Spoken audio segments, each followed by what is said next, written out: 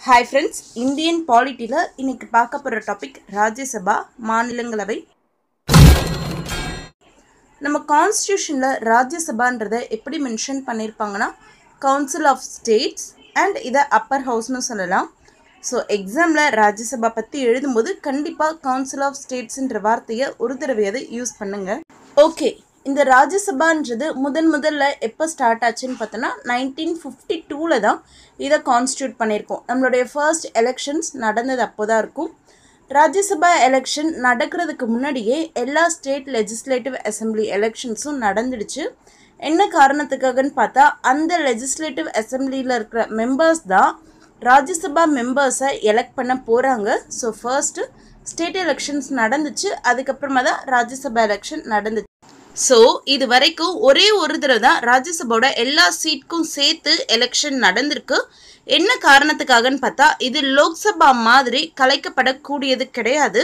இந்த ராஜ்யசபான்றது ஒரு permanent house நல்லா ஞாபகம் வச்சுக்கோங்க ராஜ்யசபா தான் ஒரு நிரந்தரவை பட் ராஜ்யசபா உறுப்பினர்களுக்கு வந்து டேர்ம் இருக்குது அது எவ்வளோன்னு பார்த்தோன்னா சிக்ஸ் இயர்ஸ் ஓகே இந்த ராஜ்யசபாவில் எவ்வளோ உறுப்பினர்கள் இருக்கலாம் அவங்கள எந்தெந்த ஸ்டேட்லேருந்து எவ்வளோ எவ்வளோ பேர் வரணும் இதெல்லாம் சொல்றது எந்த ஸ்கெட்யூல் பார்த்தா ஃபோர்த்து ஸ்கெட்யூல் ஒவ்வொரு மாநிலத்துல இருந்துமே ரெப்ரசன்டேஷன் வந்து வேரி ஆகும். இது எதை பேஸ் பண்ணி இருக்குன்னு பார்த்தா அந்த மாநிலத்துடைய மக்கள் தொகை அடிப்படையில் தான். ஸோ நல்லா ஞாபகம் வச்சுக்கோங்க. Allocation of seats in the Rajya Sabha. இது எந்த ஸ்கெட்யூலில் இருக்குது fourth schedule and article eighty படி ராஜ்யசபாவில் மேக்ஸிமம் ஸ்ட்ரென்த் எவ்வளோ இருக்கணும்னு சொல்லியிருக்காங்கன்னா டூ ஃபிஃப்டி தான் இருக்கணும். இப்போது கரண்ட் ஸ்ட்ரென்த் எவ்வளோன்னு பார்த்தோன்னா டூ ஃபார்ட்டி ஃபைவ் இந்த டூ ஃபார்ட்டி ஃபைவை நம்ம ரெண்டாக பிரிக்கலாம். Two thirty three plus twelve இந்த டூ தேர்ட்டி த்ரீ எங்கேருந்து வந்திருப்பாங்கன்னு பார்த்தா நம்மளுடைய எல்லா ஸ்டேட்லேருந்து வந்திருக்காங்க. ப்ளஸ் ரெண்டு யூனியன் டெரிட்டரியிலேருந்து வந்திருப்பாங்க. எது எதுன்னு பார்த்தோன்னா டெல்லி அண்ட் புதுச்சேரி இந்த டுவெல் மெம்பர்ஸ் எங்கேருந்து வராங்கன்னு பார்த்தா இவங்களை வந்து பிரசிடென்ட் தான் நாமினேட் பண்ணுவார். ஒரு நாலு ஃபீல்டு வச்சுருக்காங்க. Literature science arts and social service இந்த நாலு ஃபீல்டில் ஸ்பெஷல் நாலேஜ் இருக்கிற பர்சனை பிரசிடென்ட் வந்து நாமினேட் பண்ணுவார். முன்னவே சொன்ன மாதிரி ஒவ்வொரு ஸ்டேட்க்கும் ரெப்ரசன்டேஷன்றது வேரி ஆகும். அது முழுக்க முழுக்க மக்கள் தொகை அடிப்படையில் தான். அப்படின்னு பார்த்தா நம்மளுடைய ஹையஸ்ட் பாப்புலேஷன் இருக்கிற ஸ்டேட் வந்து உத்தரப்பிரதேஷ். ஸோ அங்கேருந்து தான் அதிக ரெப்ரசன்டேஷன் இருக்குது எத்தனை மெம்பர் பார்த்தா கிட்டத்தட்ட தேர்ட்டி ஒன் மெம்பர்ஸ் நெக்ஸ்ட் வந்து மகாராஷ்டிரா அங்கேருந்து நைன்டீன் நம்ம தமிழ்நாடு தேர்ட் பிளேஸில் இருக்கோம். எயிட்டீன் மெம்பர்ஸ் இங்கேருந்து ராஜ்யசபாவில் ரெப்ரசன்ட் பண்ணுறாங்க அண்ட் ரெண்டு யூனியன் டெரிட்டரியிலேருந்து ரெப்ரசன்ட் பண்ணியிருக்காங்கன்னு சொன்னோம். அது எது எதுனா டெல்லி அண்ட் புதுச்சேரி. டெல்லியிலேருந்து த்ரீ மெம்பர்ஸ் புதுச்சேரியிலேருந்து ஒருத்தர். இந்த இடத்துல நமக்கு ஒரு டவுட் வரலாம். செவன் யூனியன் டெரிட்டரிஸ் இருக்கும்போது ஏன் வந்து ஒன்லி ஃப்ரம் டூ யூனியன் டெரிட்டரிஸ்னு என்ன காரணம்னு பார்த்தா இந்த டூ யூனியன் டெரிட்டரிஸில் தான் ஓரளவுக்கு அது பாப்புலேஷன் அதிகம். மற்ற இடத்துலலாம் ரொம்ப கம்மின்றதுனால அங்கேருந்து ரெப்ரசன்ட் பண்ண முடியல. ஸ்டேட்ல இருந்து வரக்கூடிய இந்த ராஜ்யசபா மெம்பர்ஸை யார் செலக்ட் பண்ணுவாங்கன்னு பார்த்தா அந்தந்த ஸ்டேட் லெஜிஸ்லேட்டிவ் அசம்பிளியில் இருக்கக்கூடிய எலெக்டட் மெம்பர்ஸ் மட்டும் ஓட் பண்ணுவாங்க. நல்லா ஞாபகம் வச்சுக்கோங்க. எலெக்டட் மெம்பர்ஸ் மட்டும்தான் ஓட் பண்ணுவாங்க. நாமினேட்டட் மெம்பர் வர மாட்டாங்க எல்லா ஸ்டேட் லெஜிஸ்லேட்டிவ் அசம்பிளியுமே கவர்னர் வந்து ஒரு ஆங்கிலோ இந்தியனை நாமினேட் பண்ணியிருப்பாங்க அந்த பர்சன் ராஜ்யசபா எலெக்ஷனில் வர மாட்டாங்க ஓகே ராஜ்யசபான்றது பர்மனன்ட் ஹவுஸ்னு சொல்லியாச்சு. அப்போது இங்கே வர எந்த மெம்பர்ஸும் போகவே மாட்டாங்களான்னு கேட்டால் கிடையாது. Every second year one third of the member வந்து ரிட்டையர்ட் ஆவாங்க. ஒன் தேர்ட் மெம்பர்னும் போது இப்போ நம்ம total strength two forty five இந்த டூ ஃபார்ட்டி ஃபைவ்லேருந்து ஒன் தேர்ட்னா ஒரு எயிட்டி ஒன் ப்ளஸ் மெம்பர்ஸ் வந்து எவ்ரி செகண்ட் இயர் ரிட்டையர்ட் ஆவாங்க. இந்த இடத்துல ஒரு விஷயம் நம்ம நல்லா கவனிக்கணும். இப்போ ஃபுல் சிக்ஸ் டேர்ம்க்கு யாரையாவது எலெக்ட் பண்ணால் அவங்க தான் சிக்ஸ் இயர்ஸும் சர்வ் பண்ணுவாங்க. பை எலெக்ஷனில் வரவங்கன்னு வச்சுப்போம். பை எலெக்ஷன் எதனால் வரும்? இப்போ யாரோ ஒரு மெம்பரை திடீர்னு டிஸ்குவாலிஃபை பண்ணதுனால அந்த பிளேஸ் வேக்கண்ட் ஆகிட்டு வரலாம். இல்லை யாரோ ஒரு மெம்பர் எக்ஸ்பயர்ட் ஆகிருக்கலாம் அதாவது இறந்து போயிருக்கலாம். ஸோ அந்த பிளேஸை ஃபில் பண்ணுறதுக்கும் பை எலெக்ஷன் கண்டிப்பாக வரும். அவங்க ஆல்ரெடி ஒரு three to four years serve பண்ணிட்டாங்க. அதுக்கப்புறம் பை எலெக்ஷன் அந்த பிளேஸ்க்கு வருதுன்னா இப்போ அந்த பிளேஸ்க்கு எலெக்ட் ஆகிற மெம்பர் மீதி இருக்கிற டூ இயர்ஸ்க்கு மட்டும்தான் சர்வ் பண்ண முடியும். அண்ட் ரிட்டையர்டான ஒரு பர்சன் திரும்ப எலெக்ஷனில் நிற்கலாமான்னு கேட்டால் தாராளமாக எத்தனை தடவை வேணாலும் நிற்கலாம் அடுத்து பார்க்க போகிறது எலெக்ஷனில் நிற்கணும்னா அதுக்கு என்ன தகுதிகள் இருக்கணும்? எல்லா போஸ்டிங்க்குமே சொல்கிற மாதிரியும் இங்கேயும் ஃபர்ஸ்ட் ஒன் என்னன்னா the person should be a citizen of India இந்திய குடிமகனாக இருக்கணும். Not be less than thirty years of age லோக்சபாவில் பார்த்தோன்னா இந்த வயசுன்றது இருபத்தஞ்சா இருக்கும். பட் இங்கே வந்து முப்பது வயசு இருக்கணும். தேர்ட் ஒன் பாருங்க. Must possess other qualification as prescribed by the parliament இந்த பார்லிமெண்ட் ஒரு சில குவாலிஃபிகேஷன் டிசைட் பண்ணியிருப்பாங்க இல்லையா? அது எல்லாமே எதில் இருக்குன்னா representation of people act nineteen fifty ஒனில் இருக்கும். இந்த ஆக்டில் சொல்லியிருக்கிற குவாலிஃபிகேஷனும் இருக்கணும்னு சொல்லியிருக்காங்க இந்த ஆக்டில் என்ன சொல்லியிருக்காங்கன்னு பாருங்க. Must be registered as an elected for a parliamentary constituency in the concerned state or union territory. ரொம்ப முக்கியமான பாயிண்ட் இது. ராஜ்யசபா எலெக்ஷனில் ஒரு மெம்பர் கண்டெஸ்ட் பண்ணணும்னா அந்த மெம்பர் அந்த தொகுதியில் கண்டிப்பாக வாக்காளராக இருக்கணும்.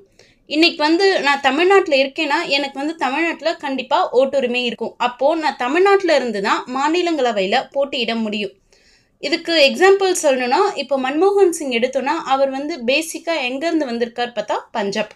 பட் அவர் எங்கேருந்து செலக்ட் ஆகுறார் பாருங்கள் அஸ்ஸாம்ல இருந்து. பிகாஸ் அவருக்கு ஓட்டிங் இருக்கிறது அஸ்ஸாம் தான். இன்னொரு எக்ஸாம்பிள் வெங்கையா நாயுடு. அவர் கூட சொல்லலாம். அவர் பேசிக்காக பார்த்தா ஆந்திரா பட் அவர் செலக்ட் ஆகுறது கர்நாடகால இருந்து. வேணா அவருக்கும் ஓட்டிங் இருக்கிறது கர்நாடகாவில் தான். ஸோ நல்லா ஞாபகம் வச்சுக்கோங்க ராஜ்யசபாவை பொறுத்த வரைக்கும் ஒரு மெம்பருக்கு எங்கே ஓட்டிங் இருக்கோ அங்கேருந்து தான் அவர் எலெக்ஷன்லையும் செலக்ட் ஆக முடியும். ஆனால் லோக்சபாவுக்கு வந்து இந்த கான்செப்ட்லாம் கிடையாது. லோக்சபாவை பொறுத்த வரைக்கும் உங்களுக்கு ஓட்டிங் எங்கே வேணாலும் இருக்கலாம். நீங்கள் எங்கே வேணாலும் போட்டியிடலாம். குவாலிஃபிகேஷன்ஸ்க்கு அடுத்து ஒரு ராஜ்யசபா உறுப்பினரை எப்போல்லாம் டிஸ்குவாலிஃபை பண்ணலான்னு பாருங்கள் under the constitution a person shall be disqualified for being elected as a member of parliament qualifications பார்த்துட்டோம். ஒரு ராஜ்யசபா மெம்பரை எப்போல்லாம் டிஸ்குவாலிஃபிகேஷன் பண்ணலான்னு சொல்லிட்டு கான்ஸ்டியூஷனில் கொடுத்துருக்காங்கன்னு பாருங்கள் if he holds any office of profit under the union or state government அதாவது பணம் வரக்கூடிய எந்த ஒரு அரசு பதவியிலையும் இருந்தால் அப்போது டிஸ்குவாலிஃபை பண்ணலாம். If he is of unsound mind and stand so declared by a court அவர் வந்து கொஞ்சம் மனநலம் சரியில்லாதவர்னு ஏதோ ஒரு கோர்ட்லேருந்தே சொல்லியிருக்காங்கன்னு வச்சுப்போம். அப்பயும் அவரை டிஸ்குவாலிஃபை பண்ண முடியும். If he is an undischarged insolvent undischarged அப்படின்னா என்னென்னா இன்னும் கோர்ட்டில் வந்து அவர் மேலே ஏதோ ஒரு வழக்கு நிலுவையில் இருக்குது அவரை வெளியிடலைன்னு அர்த்தம். அன்டிஸ்சார்ஜ்டு இன்சால்வெண்ட்னா என்னென்னா ஏதோ ஒரு பொருளாதார ரீதியிலான வழக்காக இருக்கும். Fourth one if he is not a citizen of India or has voluntarily acquire the citizenship of a foreign state or is under any acknowledgement of allegiance to a foreign state and அதாவது ஒன்று இந்த இந்தியாவோட குடியுரிமை இல்லாதவங்களாக இருக்கலாம். அப்படி இல்லைன்னா நானே வாண்டடாக இந்த கண்ட்ரியை விட்டு போகிறேன்னு சொல்லிட்டு எனக்கு இந்த சிட்டிசன்ஷிப் வேணான்னு வேறு ஒரு நாட்டுடைய குடியுரிமையை நான் வாங்கியிருக்கலாம். இந்த சுச்சுவேஷன்லேயும் டிஸ்குவாலிஃபை பண்ண முடியும். If he is so disqualified under any law made by parliament பார்லிமெண்ட்டில் மேட் பண்ணலான்னா ஆப்வியஸாக அங்கே வர்றது என்னென்னா representation of people act under nineteen fifty ஒனில் சொன்னது தான் வரும். இந்த ரெப்ரசன்டேஷன் ஆஃப் பீப்புள் ஆக்டில் என்ன சொல்லியிருக்காங்கன்னு பார்க்கலாம். He must not have been found guilty of certain election offences or corrupt practices in the election. தேர்தல் ஆணையம் தேர்தல் நடத்துறதுக்குன்னு சொல்லிட்டு சில விதிமுறைகள் விதிச்சிருப்பாங்க. அதை இவங்க மீறி இருந்தால் இவங்கள டிஸ்குவாலிஃபை பண்ணலாம். எலெக்ஷனில் ஜெயிக்கிறதுக்கு வேண்டி ஏதாவது மால் ப்ராக்டிஸ் பண்ணுறாங்க பணம் கொடுக்குறாங்க இந்த மாதிரிலாம் பண்ணியிருந்தாலும் இவங்கள டிஸ்குவாலிஃபை பண்ண முடியும். Next point he must not have been convicted for any offence resulting in imprisonment for two or more years. But the detention of a person under a preventive detention law is not a disqualification.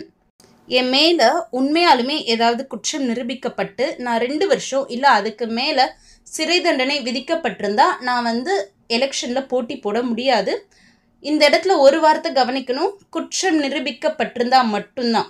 But prevention of detention அதாவது ஒரு குற்றம் நடக்கக்கூடாதுன்னு சொல்லிட்டு என்னை வந்து ஜெயிலில் வச்சுருந்தாங்கன்னா அப்போல்லாம் நான் வந்து பொறுப்பாக முடியாது. ஸோ அப்போ வந்து ஜெயிலில் இருந்ததெல்லாம் கணக்கில் எடுத்துகிட்டு தேர்தலிருந்து தகுதி நீக்கம் பண்ண முடியாது. நெக்ஸ்ட் பாயிண்ட் பாருங்க. He must not have failed to lodge and account of his election expenses within the time election முடிஞ்சு ரிசல்ட் அனௌன்ஸ் பண்ணால் முப்பது நாளுக்குள்ளே பொதுவாக தேர்தல் கணக்கு வழக்குகள் எல்லாத்தையுமே தேர்தல் ஆணையத்துக்கிட்ட ஒப்படைக்கணும்.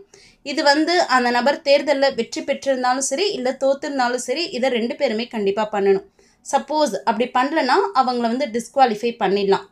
He must not have any interest in government contracts works or services ஆப்வியஸாக கவர்மெண்ட்டில் ஒர்க் பண்ணும்போது பணம் வரக்கூடிய வேறு எந்த பதவியிலையும் இருக்கக்கூடாது. அதே மாதிரி எந்த கான்ட்ராக்ட் கூட வச்சுருக்கக்கூடாது. ஸோ அப்படி இருந்தாலும் டிஸ்குவாலிஃபை பண்ணிடலாம். Next point he must not be a director or managing agent nor hold an office of profit in a corporation in which the government has at least twenty five percent share இப்போது ஒரு company இருக்குது அந்த கம்பெனியில் government and private ரெண்டு பேருமே இதான் இயங்குறாங்கன்னு வச்சுப்போம்.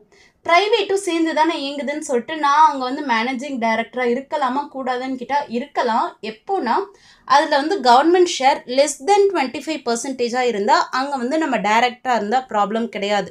But government share வந்து மோர் தென் டுவெண்ட்டி ஃபைவ் பர்சன்டேஜாக இருக்கிற ஒரு கம்பெனியில் நம்ம டைரக்டர் பொசிஷன்லேயோ இல்லை ஏதோ ஒரு உயர் அதிகாரியாவோ இருந்தால் அப்போது அங்கேருந்து டிஸ்குவாலிஃபை பண்ண முடியும்.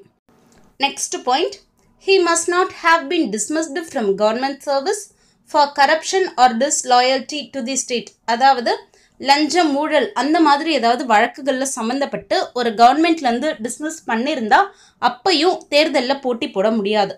He must not have been convicted for promoting enmity between different groups or for the offence of bribery இந்தியான்னு சொல்லும்போதே நம்ம வந்து அதோட ப்ளஸ் யுனைட்டி இன் ஸ்ட்ரென்த் தான் சொல்கிறோம் அப்படி இருக்கும்போது நான் வந்து ஒரு ரெண்டு குரூப்குள்ளே கலவரத்தெல்லாம் தூண்டி விட்டுட்டு இல்லை அங்கே வந்து மத ரீதியாவோ ஜாதி ரீதியாவோ பேசி ஏதோ அங்கே வந்து ஒரு பிளவை ஏற்படுத்துகிறேன்னா கண்டிப்பாக அந்த மாதிரி விஷயங்களை ஈடுபடுற ஒரு ஆளாக இருந்தாலும் அவங்களால வந்து தேர்தலில் போட்டி போட முடியாது.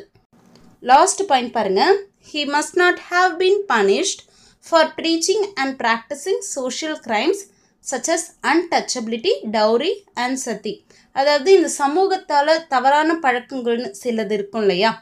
தீண்டாமை இல்லை வரதட்சணை சதி இந்த மாதிரி ஏதாவது விஷயங்களுக்காக எனக்கு வந்து ஏற்கனவே தண்டனை கொடுத்திருந்தாலும் நான் வந்து தேர்தலில் போட்டி போட முடியாது. இங்கே ஒரு விஷயம் நம்ம நல்லா ஞாபகம் வச்சுக்கணும். இந்த எந்த கண்டிஷன்லையுமே ஒரு மெம்பரை டிஸ்குவாலிஃபை பண்ணுறதுனா அங்கே வந்து எலெக்ஷன் கமிஷன் கிட்டேருந்து தான் ஃபர்ஸ்ட்டு ரெக்கமெண்டேஷன் வரணும்.